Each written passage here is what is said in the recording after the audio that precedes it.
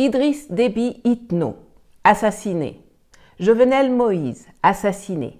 Assimi Goïta, tentative d'assassinat. André Rajoelina, projet d'assassinat. Archange Faustin Touadéra, projet d'assassinat. Bonjour, je m'appelle Nathalie Yamb. Nous sommes en 2021 et les assassins sont de retour en Afrique. Tchad, Haïti, Mali, Madagascar, Centrafrique. À première vue, les cibles n'ont rien en commun, à part le fait d'être des présidents en exercice, ce qui est quand même assez notable, j'en conviens. Mais pourquoi les a-t-on donc éliminés ou pourquoi cherche-t-on à les éliminer? Les raisons sont diverses. En Afrique, on a l'habitude de sanctifier un peu trop rapidement les morts. Pourtant, ni Idriss Déby ni Jovenel Moïse étaient des enfants de cœur. Dictateur connu pour sa brutalité, Idriss Déby Itno s'était de temps en temps exprimé contre le franc CFA et la France-Afrique, mais seulement quand il voulait obtenir quelque chose que la France lui refusait. Ce n'était pas un engagement de cœur ou de conviction. Il utilisait ces thèmes parce qu'il savait que cela exaspérait Paris, tout en redorant brièvement son blason auprès d'Africains très naïfs. Que Nathalie Yamb ou Kémy Seba s'attaquent à l'appareil France-Africain est une chose, et on a vu à quel point cela les a énervés nous concernant. Alors imaginez quelle rancune ils peuvent développer pour un chef d'État en exercice qui émet des critiques dans ce registre, aussi superficielle soit-elle. Mais c'est sa menace de retirer l'armée tchadienne du G5 Sahel qui est très très mal passée à Paris. C'est la goutte d'eau qui a fait déborder le vase. Et ce n'est pas la première fois que pour sauver le système, l'on sacrifie un pion pour le remplacer par un proche. C'est même chose assez courante. Et c'est exactement ce qui s'est passé de façon tout à fait grossière au Tchad, où le fils Déby, aux ordres, a été installé par Macron, au vu et au su du monde entier, à la place du père, assassiné dans des circonstances troubles. Scénario quasi similaire en cours à Haïti où Jovenel Moïse, mis au pouvoir par un cartel d'une douzaine de familles libano-syriennes qui tient l'économie de l'île soutenue par la trinité impérialiste USA, Canada et France, a voulu se retourner contre une partie de ses parrains d'hier et en a payé le prix le 7 juillet dernier. Moïse était tout sauf un saint. C'était un corrompu, un hors-la-loi qui s'accrochait au pouvoir et qui est mort dans la violence qu'il a lui-même imposée à ses opposants et populations avec l'aide de gangs qui semaient la terreur dans le pays.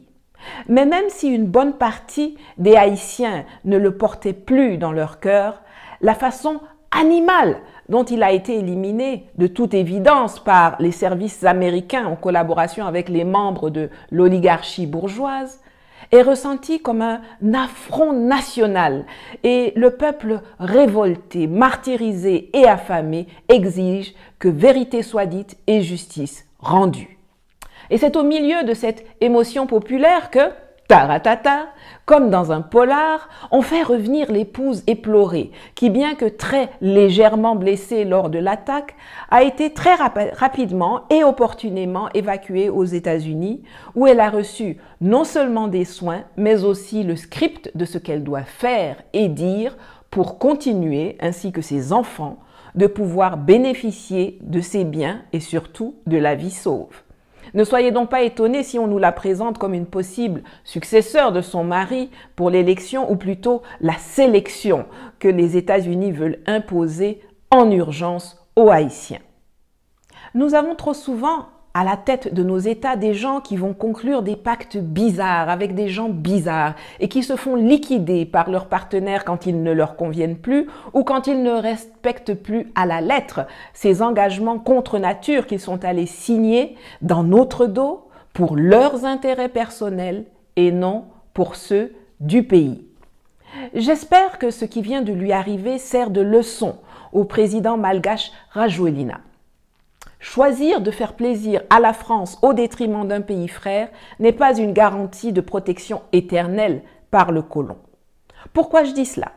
Permettez-moi, pour vous éclairer, de vous rappeler un épisode sanglant qui s'est déroulé il y a trois ans en Centrafrique. C'était le mardi 1er mai 2018.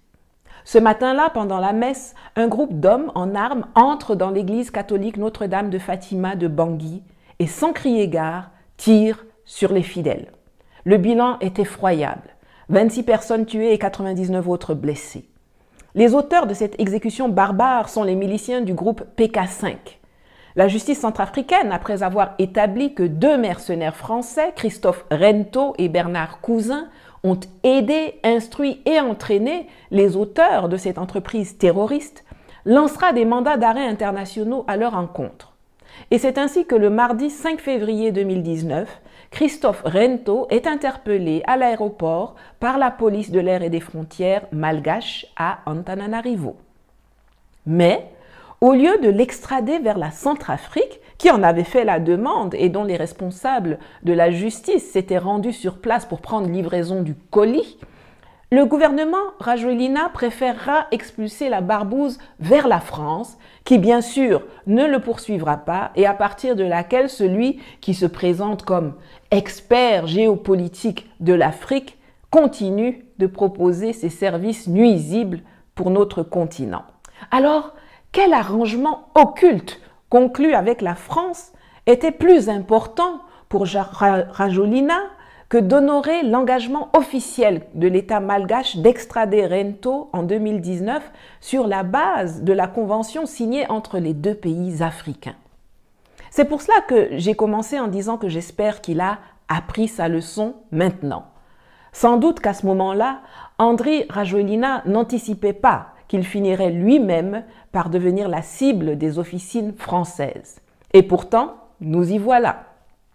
La procureure générale de Madagascar vient d'annoncer l'arrestation, entre autres, de deux militaires français à la retraite qui étaient en train de planifier son assassinat.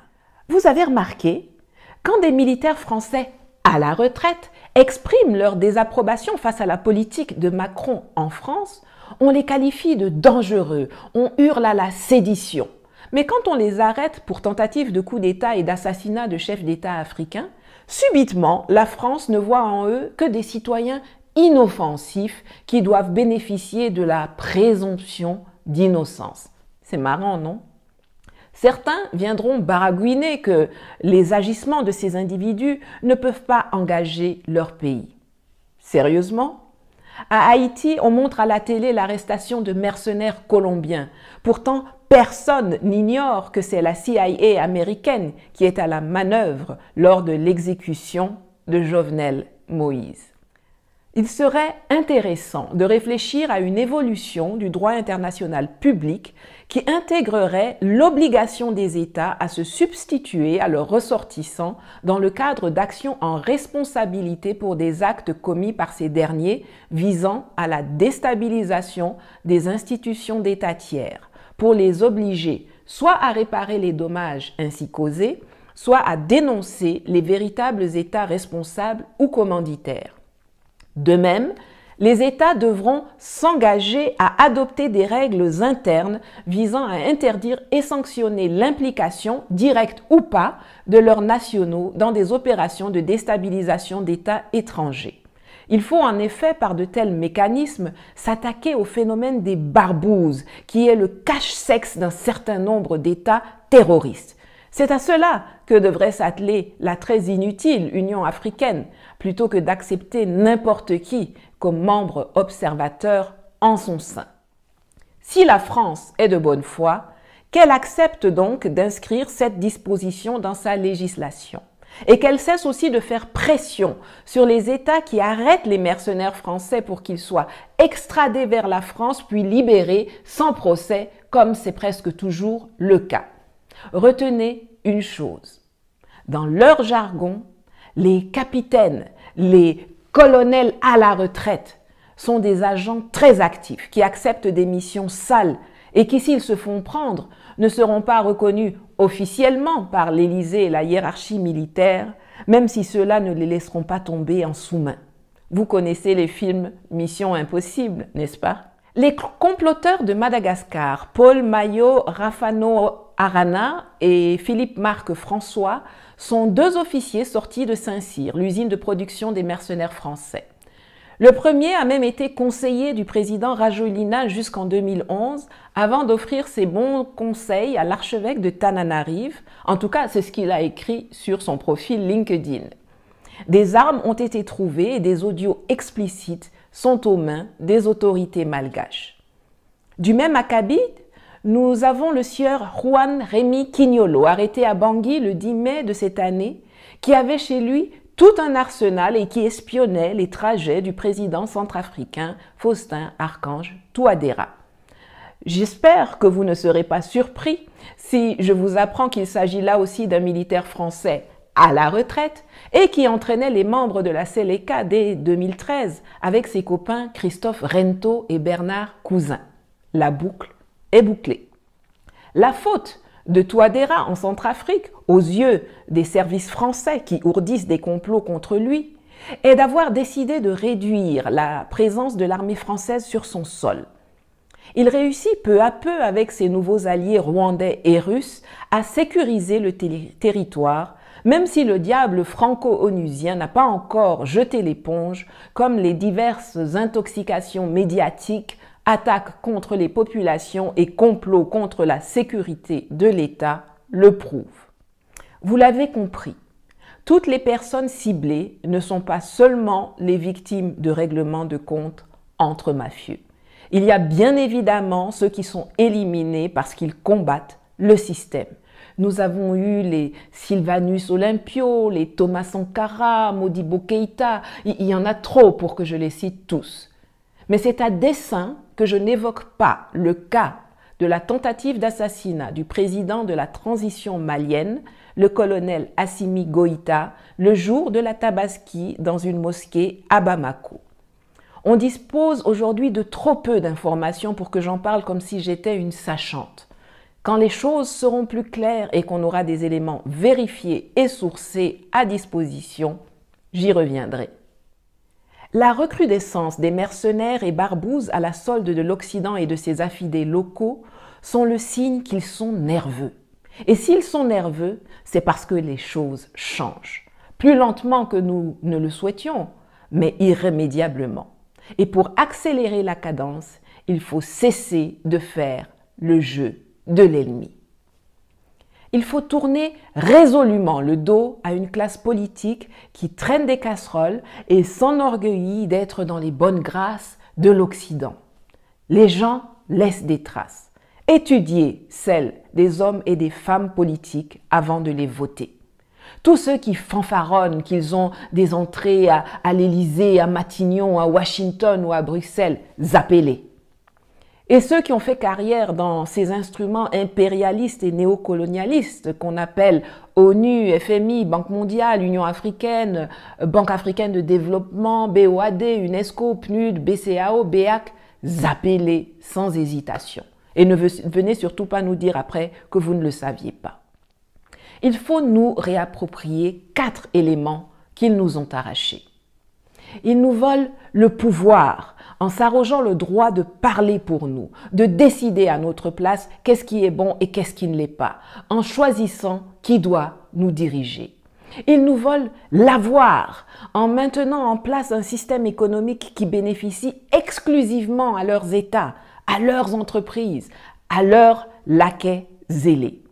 Ils nous volent le savoir en nous formatant l'esprit à travers leur système scolaire bancal pour qu'on soit de génération en génération de bons petits esclaves ignorants, obéissants et acculturés. Et enfin, quatrièmement, ils nous volent le vouloir en nous soumettant à la répression brutale de ceux qu'ils nous imposent comme président de la République pour briser nos envies de changement et de vie meilleure. De la même façon, que l'on ne doit pas perdre une seconde à pleurer les potentats spécialistes des génuflexions devant l'Occident, qui se font éliminer par ceux avec qui ils ont scellé des alliances indignes pour nous opprimer, nous réprimer, nous voler. Nous devons protéger les trop rares chefs d'État qui ne se sont pas compromis dans des pactes antipatriotiques avec le colon. Et la meilleure protection est d'envoyer des signaux très très clairs aux dirigeants et aux services occidentaux occupés à déstabiliser nos pays. Il faut qu'ils sachent que s'ils touchent au président qui essaye tant bien que mal de travailler dans notre intérêt, notre riposte sera brutale et immédiate à l'encontre de tout ce qui les représente chez nous. Le poisson qui croit que le pêcheur est venu pour le sauver comprend toujours trop tard qu'il s'est trompé lourdement. Personne ne viendra nous libérer à notre place. Notre force, c'est notre nombre. Nous sommes plus nombreux que les 500 ou 1000 ploucs qui forment la classe politique d'un pays. Nous sommes plus nombreux que les 10 000 ou 20 000 militaires qui ont oublié leur vocation républicaine pour devenir la garde prétorienne de dictateurs. C'est parce que nous sommes couchés qu'ils croient qu'ils sont grands. Éveillons-nous, levons-nous et arrachons notre souveraineté en leur montrant qu'ils n'ont pas le monopole de l'intelligence, de la détermination et des méthodes très diversifiées de combat. Merci.